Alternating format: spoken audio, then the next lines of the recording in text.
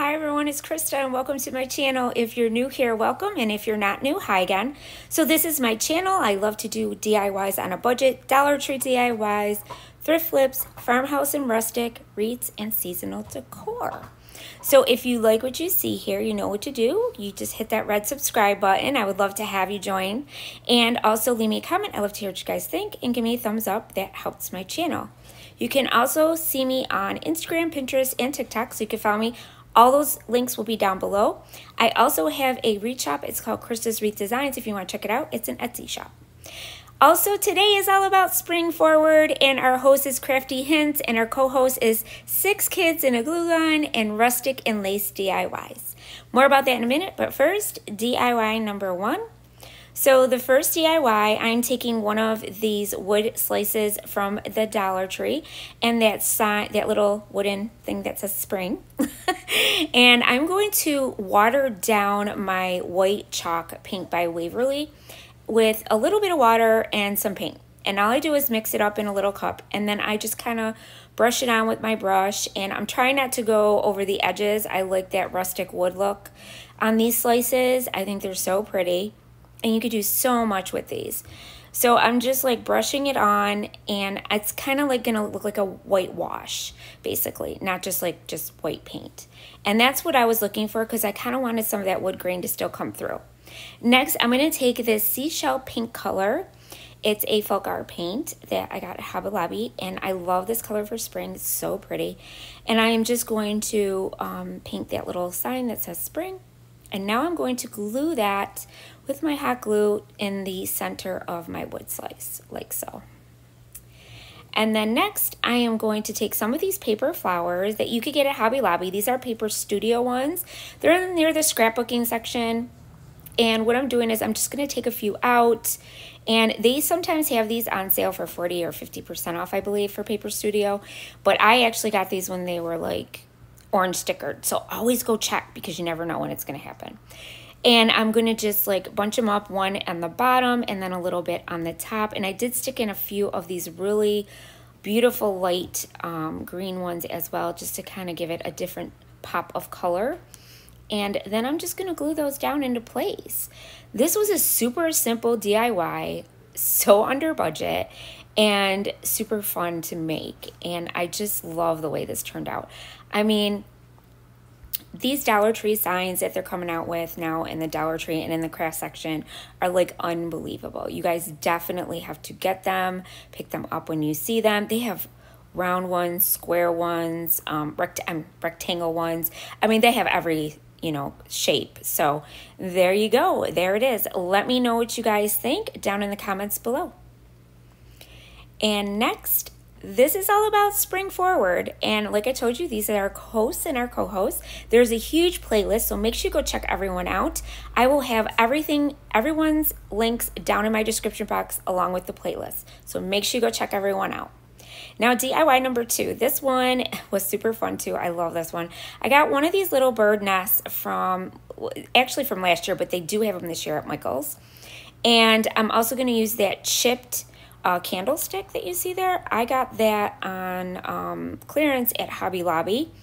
And what I'm doing is I'm just going to take some of the Spanish moss and I'm going to kind of like um, put it around the top portion of the candlestick and I'm just going to kind of like bunch it together like so it stays on there nicely. We are going to glue it down though um, to make sure it stays. And then I'm just going to kind of put like a little nest in the middle like that. And I'm just going to nest that little bird in there. And this turned out so pretty, you guys. And this bird was the perfect color for these DIYs that I'm doing today. So I just took a lot of hot glue and what I did is I just glued it down. And now I'm going to take some more hot glue and I'm going to glue down that bird's nest to the center as well. But we're going to make this even look more high-end by adding some more things to it. So I did go around the edges because, you know, Spanish moss goes all over the place, so kind of gets everywhere. So what I did is to make it look a little more uniformed, I just went in with my glue gun and I just kind of did the edges and then kind of pushed it down with my fingers. And I just kept doing that all around the edges just so it looks a little bit better and not so messy. Then next, I'm going to take some of these floral picks that I had in my stash, but they have them every year.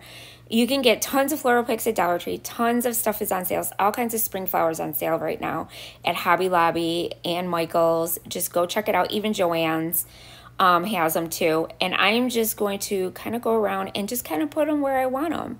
You know, however you want it to look, you do you. That's what I would say. You do you. So what I do is I just put a little glue on the ends and then I'm just going to stick those down so they stay in place. And this turns out so cute, you guys. And then next, I'm going to use my um, paper flowers again. So see, you can use these for a lot of things. So when you start with something, you know, pick out the paper flowers that you like and you can just do so much with them. Now I used to scrapbook, so I'm very into the paper flower look. And then next, I'm going to take some of those and I am going to start gluing them to the edge, like sort of on the side, going up to the bird's nest. And I'm just going to kind of nestle them, keep going up, and just keep climbing up with different sizes, different colors that match and I'm just going to keep going because there were these pale yellows in there and the greens and then this light pink color and it just went well went together so well. So I just kept doing that. And then I did put a few also on the top around the nest around the front of the nest and then around the side and the back. Not too many because you don't want to overwhelm it but I did a little bit at a time. But look at how pretty that looks. Like I love it and then again, like I said, I did on the side and I also put, you know, like one in the back. And that's kind of really all I did. And it just turned out so pretty, you guys. You guys got to let me know what you think of this one. I love it. I think it's just so elegant. And here's your close-up of that one. Let me know what you guys think in the comments down below. So now DIY number three. Now this one, I'm taking one of these wood bird houses from the Dollar Tree, some scrapbook paper that I had, and some of that light pink paint again, and some um, white paint, and some of those paper flowers again, and the same pick that I've been using. See, those picks, you can use multi things, okay? So the first thing I did is I took my White Waverly chalk paint and I went over the roof and the bottom of my birdhouse. These birdhouses are so cute. I'm telling you, the Dollar Tree is really stepping it up this year. And this is that same pink, light pink color that we've been using. It's a seashell pink. And I'm just going to brush that in the front of the birdhouse as well. And then on the sides and the back, I'm going to use that scrapbook paper. Now I have this scrapbook paper on hand, but you get scrapbook paper anywhere at any craft store, or you can even purchase them on Amazon. So what I did is I just, you know, try to fold it to where I needed it. See how I'm just folding the paper? Sometimes that's how I do it and sometimes I trace. This was just much easier to do this way. And then I'm just using my little sponge brush and I'm going to put on some Mod Podge and then I'm going to Mod Podge those scrapbook pieces down paper, down on my birdhouse. And this color paper just went like perfectly with the pink I was using and with everything else that I was making today. So it just happened to work out.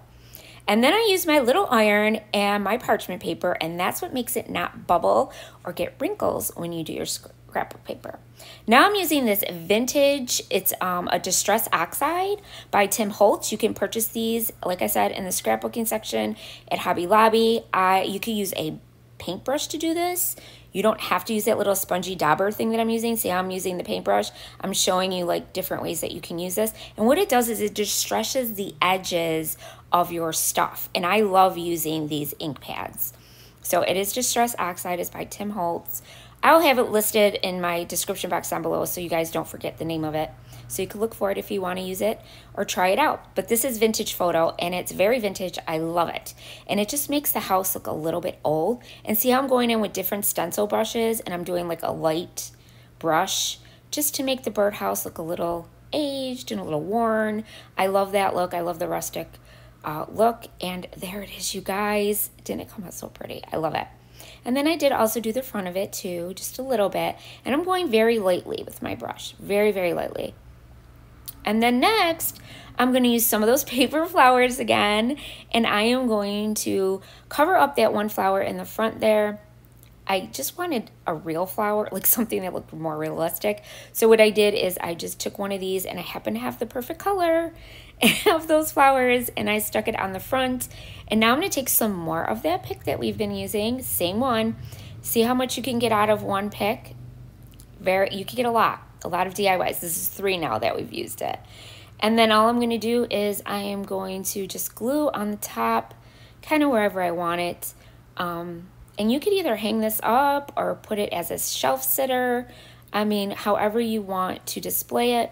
But this turned out so pretty too. And I'm so happy with these DIYs. But I am loving this light pink color that I found. Um, that paint, it's just, I don't know. I just really like it. And I'm not a real big pink person, but this pink I really like because it's so pale, so spring looking, so pretty. And then I put a, like a white flower with a little bit of yellow because you can see inside the little buds there that I'm putting on the top, of the greenery. You can see there's some of that yellow, pale yellow with the pink. And these flowers just went absolutely perfect. And they still sell these flowers because I've looked. So they still have these at Hobby Lobby. You can purchase them. But I would wait till they're 40% off or 50% off of Paper Studio. And there you go, you guys. Isn't it cute? Oh, such a cute pewter house.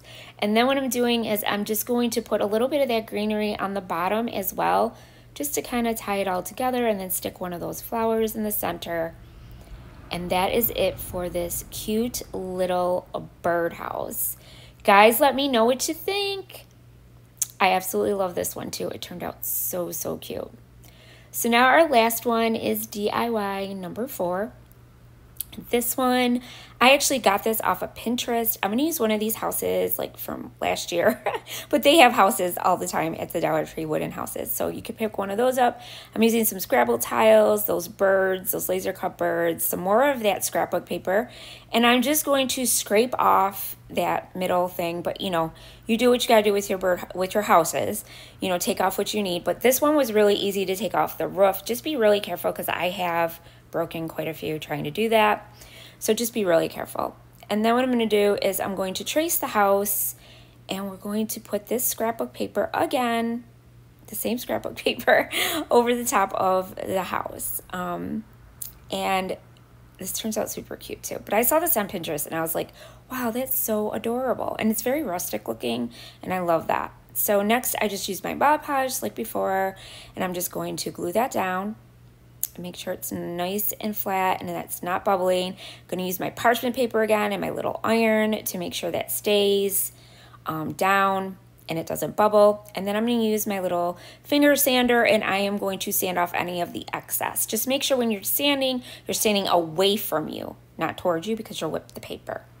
And wait till that Mod Podge dries. Then I'm just going to glue my roof back on. I didn't need to paint it because I like that dark brown color and it looks really good with the yellow. I mean, yellow, pink. Now I'm going to use that vintage again, um, Distress Oxide stamp ink, ink, and I am going to distress the edges again. So I'm just going around all the edges, making it look a little worn and look oh so pretty. Now we're going to take some of that jute twine that you can get at the Dollar Tree, and I am going to cut it and what I did is I folded a piece in half and I cut one piece a little bit shorter on the one end. Then I took another piece and cut that. Now what I'm doing is I'm just unwinding, I guess you could call it, the jute twine because there's like three pieces. And I want the edges to look frayed and open like a branch on a tree. And that's what I was going for here. So that's what I did. And then um, once I got those all undone, on the edges, I'm going to glue these down and make it look like there's branches coming out the side there of this little house. And oh my God, this was such a great idea. I love this idea on Pinterest. And um, I can't remember who it was though, but I've seen a few of these on Pinterest. So, and then I'm just gluing it down and I am going along the edges because I just want to make sure they stay down, but I'm not gluing the ends because I want those to kind of you know, look a little realistic, so kind of sticking out. And I just went along the ends there and just make sure they stay down. And then once I got those down, we're going to take some of those laser cut birds and I'm going to use two of them and I'm going to put them on my house.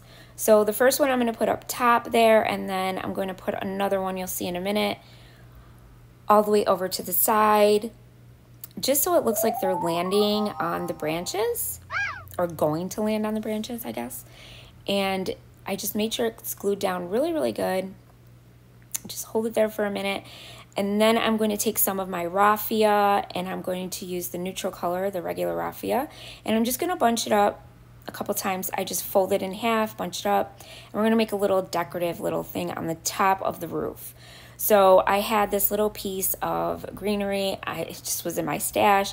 I'm just going to glue that down first, like so. And then next I'm going to glue down that raffia on top of that. And then I'm going to take one of those paper flowers again and I'm going to stick that in the center of my raffia. Isn't that cute? Look at it. Oh, so cute so rustic, so pretty for spring. And now I'm just going to spell out spring with my Scrabble tile pieces. And I just make sure, you know, that I get them the right way because I always mess that up. But it's okay because if you do, you can always pop these off. I don't know. I pop them off and I don't rip the paper. So don't take me for, you know, real because I, it might rip. But mine never rips. So I just pop it off if I don't get it straight. But yeah. That's my only struggle is getting things straight. so once I get those all glued down, it says spring, and that's it, you guys. There is my little birdhouse. Isn't it cute? I love the way it turned out. So make sure you go check everyone out. I will have everything down below in the description box. And I want to thank you guys for watching. And don't forget to subscribe. And as always, remember, stay crafty. Bye.